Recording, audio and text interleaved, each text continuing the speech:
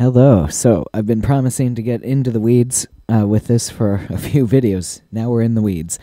Uh, so what we're going to talk about is the z-axis. Um, so if you know about, if you've done any 3D animation, x is left to right, y is up and down, and z is front to back.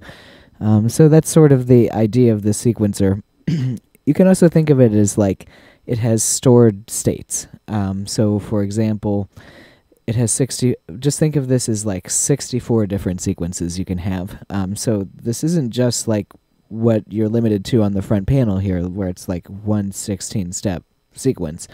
Um, you can have 64 of those and have them all run together and there's like different ways to go from one to the other um, we're going to start with manual stuff because you know if you see me pushing a button it tends to make more sense um, so what what I've done is we have our sequence here. Okay, and it's like you know extremely inspiring. uh, let's just add some glide here and there.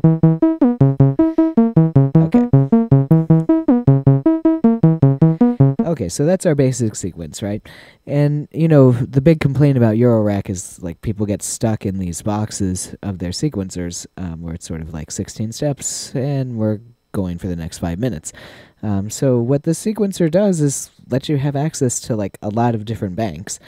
Um, so if you push left and right, these arrows together, you see the display changes. And I've got a slow flashing Y. Um, so we're going to talk about the green bank today. This is the Y bank and this is called the select state page. Um, and what this means is, you see we have a bank of 16 sequences. Um, so I've uh, programmed a few here. So here's one. There's my second one. Variation.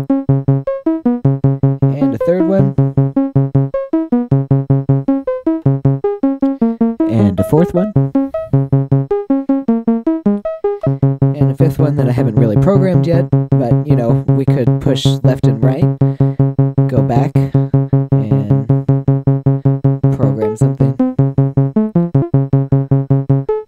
very quickly. You see, this kind of gives you quick access to sequences manually. Um, there is a way to sort of copy paste and make more variations, which we will talk about in the next video. Um, but for now, you know, just think of this like we have 16 really easy to access. And then if we push the Y button again, you see it flashes faster. And here's our four banks. So we have four banks of 16 sequences, which gives us 64 different choices. Um, if this light is blue, we're on the first bank. You see I choose the second bank and we're orange. Third bank, red light. Fourth bank, green light. And these are, you know, totally different banks of sequences. If I push the Y, we're back here. Okay, so this is like kind of choose your own adventure a little bit. Um, something to know. We have our ZMod input and our ZCV. Um, so these are ways to automate going between sequences.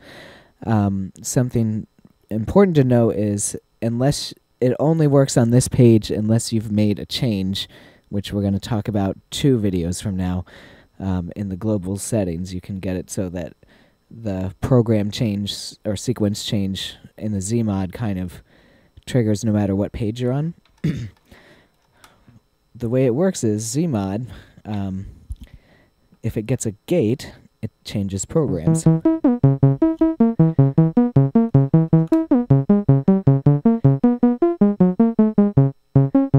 and you see, you know, as my sequence here flashes, it's just going to page up.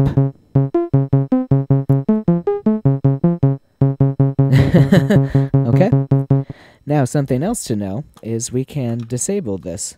Um, we can disable, sorry, we can disable certain pages. So if I push left arrow and a button, it goes blank. Um, something to know about that is these are absolute, so you can have like dead space here too. Um, so for you know, and left arrow touch it turns it back on. So it's this is on off switch basically. Uh, so something to know about that is you know I've got my third sequence here off, gate into Zmod, and it's every time that gate flashes, it's going to change the sequence.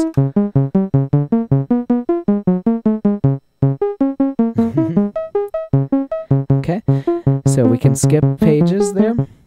Um, I think from a ZCV perspective, this is an absolute voltage. Uh, so if you're using the CV, because Zmod works off of gates, ZCV works off of voltage. So you turn a knob and you can page through your sequences um, using voltage control.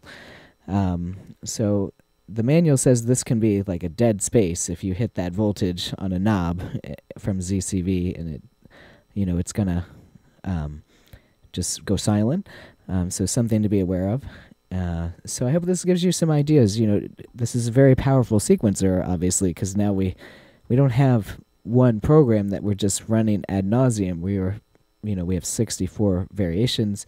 We can skip pages. We can jump around, um, and it gives you a lot of variation and control. Uh, so I hope you learned something, and we'll talk about the uh, M paste function next.